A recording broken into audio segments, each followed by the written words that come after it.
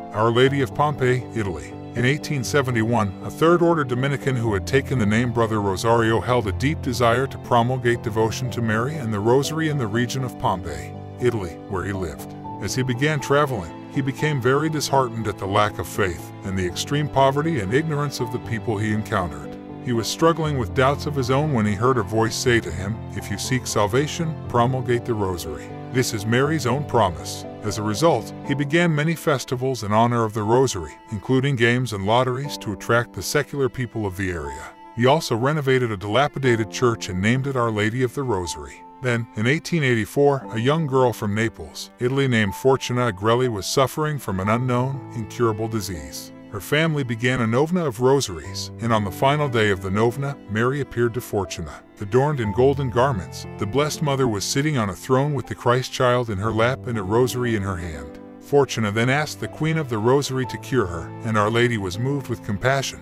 promising to do so if the young girl would offer three novenas of the Rosary for her request. Fortuna was, indeed, cured, and Our Lady then told her, whoever desires to obtain favors should pray three novenas of the prayers of the Rosary in petition and three in thanksgiving, which is how the Rosary novena began.